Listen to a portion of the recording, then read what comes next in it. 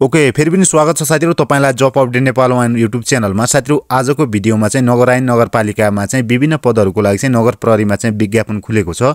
कति सङ्ख्यामा खुलेको छ कहिलेदेखि कहिलेसम्म तपाईँ चाहिँ आवेदन दिन सक्नुहुन्छ सम्पूर्ण डिटेल रुममा चाहिँ जानकारी चाहिँ दिनेछु साथीहरू। यसमा चाहिँ प्रहरी सहायक निरीक्षक प्रहरी जवान प्रहरी जवान महिला त्यस्तै कार्यालय सहयोगी स्विपर त्यस्तै कुचिकारमा चाहिँ विज्ञापन खुलेको छ।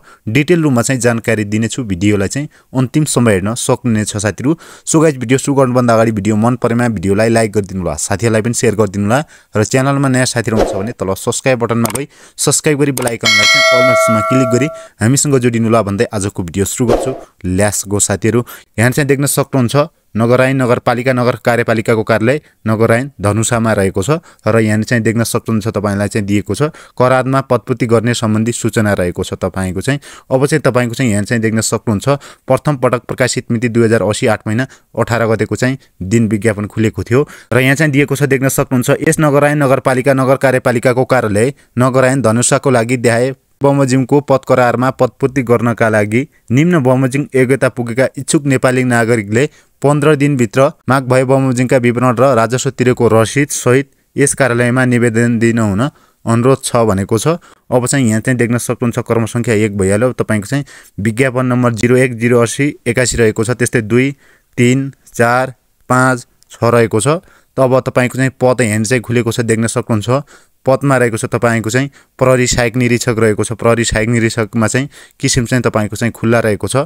सङ्ख्या चाहिँ एकजना रहेको छ प्रहरी सहायक निरीक्षकको लागि चाहिँ भने त्यसै गरी प्रहरी जवान रहेको छ। अब प्रहरी जवानको लागि चाहिँ खुल्लातर्फ चाहिँ यहाँ चाहिँ देख्न सक्नुहुन्छ सातजनाको चाहिँ खुलेको छ प्रहरी जवानतर्फको लागि।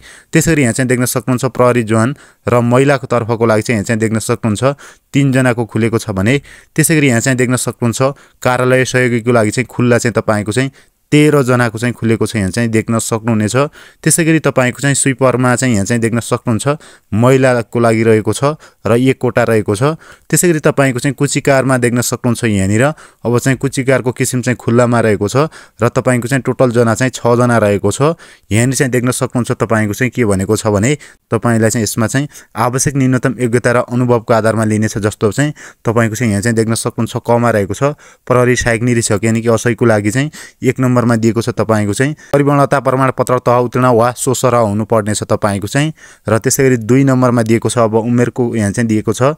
दरखास्त फारम दर्ता गर्ने अन्तिम मितिसम्म एक्काइस वर्ष उमेर पुरा भई चालिस वर्ष ननागेको भए पनि हुनेछ। तपाईँले चाहिँ यदि एक्काइस वर्ष तपाईँ चाहिँ पुरा हुनुभएको छ र चालिस वर्ष चाहिँ ननागेको हुनुहुन्छ भने आवेदन दिन सक्नुहुनेछ। त्यसै गरी तिन नम्बरमा देख्न सक्नुहुन्छ नैतिक पतन देखिने फौजदारी अभियोगमा सजाय नपाएको राजनीतिक दलको सदस्य नरहेको आतङ्ककारी सङ्गठनको सदस्य नरहेको हुनुपर्ने हुन्छ तपाईँ चाहिँ। त्यसरी चार नम्बरमा दिएको छ देख्न सक्नुहुन्छ पुरुषको हकमा घटीमा पाँच फिट दुई इन्च तपाईँ चाहिँ पाँच फिट दुई इन्च भए हुन्छ पुरुष हुनुहुन्छ भने त्यसै गरी छाती चाहिँ तपाईँको चाहिँ एकतिस तेत्तिस तपाईँको चाहिँ नफुलाउँदा चाहिँ एकतिस र फुलाउँदा चाहिँ तेत्तिस हुनुपर्ने हुन्छ भने तौल तपाईँको चाहिँ पचास केजी हुनुपर्ने हुन्छ र महिलाको हकमा चाहिँ घटीमा चाहिँ पाँच फिट भए हुन्छ र तौलको कुरा गर्दाखेरि बयालिस केजी भए हुन्छ प्रहरी सहायक निरीक्षकको लागि चाहिँ। अब त्यसै गरी यहाँ चाहिँ ख नम्बरमा दिएको छ देख्न सक्नुहुन्छ प्रहरी जवानको लागि चाहिँ रहेको छ। अब प्रहरी जवानको लागि चाहिँ आवश्यक योग्यता रहेको छ। एसएलसी एसयु उत्तीर्ण वा सोस्र उत्तीर्ण गरेको चाहिँ हुनुपर्ने हुन्छ। त्यस्तै गरी दुई नम्बरमा देख्न सक्नुहुन्छ दरखास्त फारम दर्ता गर्ने अन्तिम मितिसम्म अठार वर्ष पुरा भई तेइस वर्ष चाहिँ ननागेको हुनुपर्ने हुन्छ। र तिन नम्बरमा देख्न सक्नुहुन्छ नैतिक पथन देखिने फौजदारी अभियोगमा सजाय नपाएको राजनीतिक दलको सदस्य नरहेको आतङ्ककारी सङ्गठनको सदस्य नरहेको हुनुपर्ने हुन्छ र चार नम्बरमा देख्न सक्नुहुन्छ पुरुषको हकमा घटीमा पाँच फिट दुई इन्च भए हुन्छ भने त्यसै गरी छाती चाहिँ तपाईँको चाहिँ एकतिस तेत्तिस नै हुनुपर्ने हुन्छ। तौलको कुरा गर्दाखेरि पचास केजी र महिलाको हकमा घटीमा पाँच फिट र तौल चाहिँ बयालिस केजी चाहिँ हुनुपर्ने हुन्छ। तपाईँको चाहिँ यो महिलाहरूको लागि थियो भने त्यसै गरी यहाँ चाहिँ गमा देख्न सक्नुहुन्छ तपाईँको चाहिँ कार्यालय सहयोगीको रहेको छ। अब चाहिँ कार्यालय सहयोगीको एक नम्बरमा दिएको छ देख्न सक्नुहुनेछ।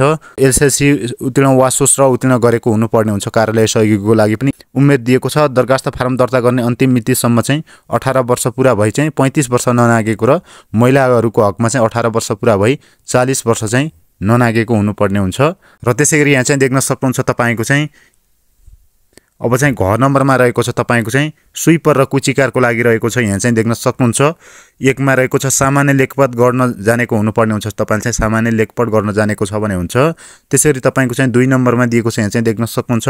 उमेर भनेको छ दरखास्त फारम दर्ता गर्ने अन्तिम मितिसम्म चाहिँ तपाईँ चाहिँ अठार वर्ष पुरा भएर चाहिँ पैँतिस वर्ष ननागेको र महिलाहरूको हकमा चाहिँ अठार वर्ष पुरा भई तपाईँ चाहिँ चालिस वर्ष ननागेको हुनुपर्ने हुन्छ यो स्विपरको लागि र कुचिकारको लागि रहेको छ। तिन नम्बरमा रहेको छ दरखास्त दिने स्थान भनेको छ नगरायन नगरपालिकाको कार्यालय नगरायन धनुषामा चाहिँ रहेको छ। तपाईँको चाहिँ अब चारमा रहेको छ यहाँ चाहिँ देख्न सक्नुहुन्छ।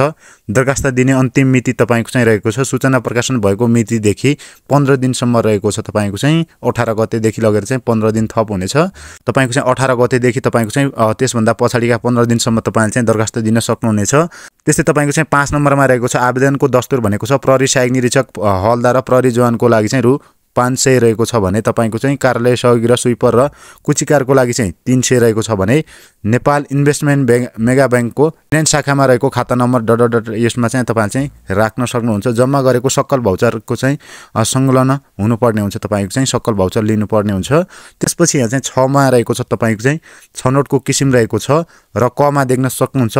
प्रहरी सहायक निरीक्षक हलदार र प्रहरी जवान प्रारम्भिक योग्यता क्रमको संक्षिप्त सूची प्रकाशन शारीरिक तन्दुरुस्ती परीक्षण लेखेर चाहिँ अन्तर्वार्ता हुनेछ तपाईँको चाहिँ र खमा दिएको छ देख्न सक्नुहुन्छ। कार्यालय सहयोगी र स्विपर कुचिकार प्रारम्भिक योग्यता क्रमको संक्षिप्त सूची प्रकाशन र अन्तर्वार्ता हुनेछ तपाईँको चाहिँ। त्यसपछि यहाँ चाहिँ देख्न सक्नुहुन्छ साथमा रहेको छ।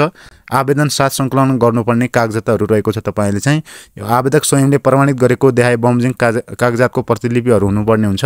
एक नम्बरमा रहेको छ तपाईँको चाहिँ नागरिकता हुनुपर्ने हुन्छ। त्यसपछि तपाईँको चाहिँ दुई नम्बरमा देख्न सक्नुहुन्छ न्यूनतम योग्यताको लब्धाङ्क प्रमाणपत्र हुनुपर्ने हुन्छ।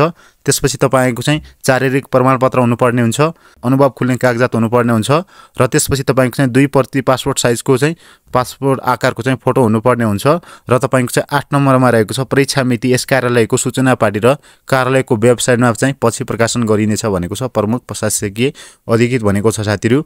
नगरायन नगरपालिकामा चाहिँ तपाईँको चाहिँ धनुषामा चाहिँ करारमा चाहिँ नयाँ विज्ञापन खुलेको मैले यो जानकारी गराएँ साथीहरू। यस्तै म तपाईँलाई चाहिँ जानकारी दिइराख्ने नै छु साथीहरू।